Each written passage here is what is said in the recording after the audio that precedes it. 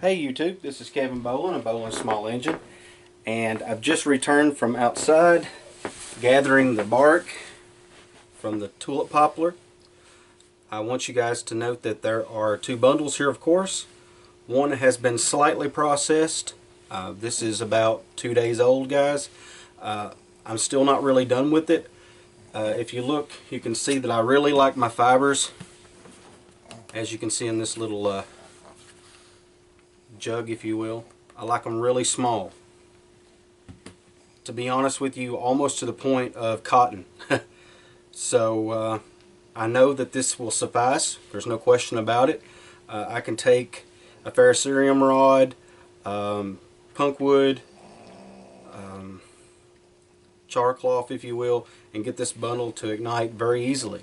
Uh, even a lighter if you will. Okay, there's no issue. It's just that I'm uh, pretty particular over my tinder bundles and I really like for them to be fuzzy so that if you're making a bow drill ember it picks up almost instantly okay? So that's basically what it comes down to.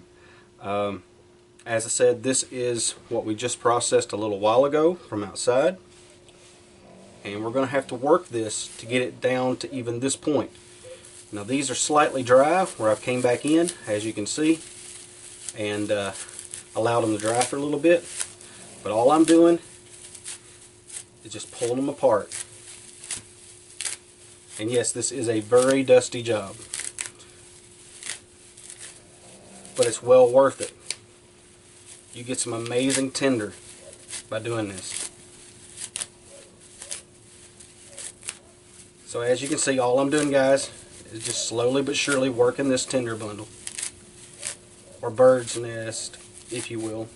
It'll be a bird's nest, basically. and I'm breaking down the fibers.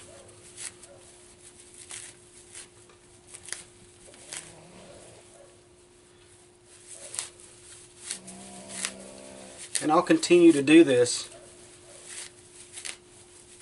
until the fibers are as small as this, basically. Like I said, it's not necessary to go much smaller than this, but I prefer to do it because I really like those fibers to be exposed. It seems to really aid in uh, having a good tinder bundle, or bird's nest if you will. Now, I wanted to mention guys in my other video that uh, basically I add birch bark and cedar to these uh, little tinder bundles, if you will, before I turn them into a bird's nest. And I highly recommend it, okay? You're not going to find any better tinder than what I showed you, okay, in my video. At least not locally. Um, I will note that you can add fat wood, and that really makes a difference, okay? Uh, especially in windy conditions.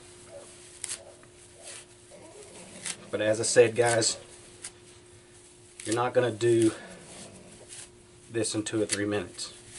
This takes a little time. And I'm just continuing to break the fibers up.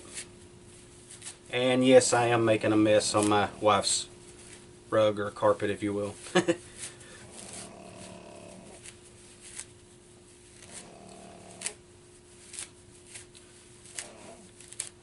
but I'll clean it up before she gets home so maybe I'll survive the ordeal. But as you can clearly see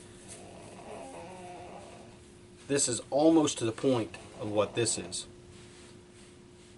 And as I said I could add leaves to this uh, small branches um, birch cedar fat wood and I could have a really great tinder source here for starting fires. I am going to tell you guys in the next video that I do, um, I'm going to be showing you guys how to find um, fat wood in nature. Uh, I want to start off by telling you this though. Not everyone is going to have an abundance of fat wood. Okay, I know this to be a fact because I have been in some places where you would expect to find it, and there'd be very, very little, if any. And then in others, like I said, you may have an overabundance. Um, in the areas that seem to fall short, I have noticed that you can find it. That would, anyway. When the trees, the pine trees, have taken damage and they make these little balls, okay, that gather up. So keep that in mind, guys. But like I said, I'll be talking about that at a later date. Until next time, YouTube.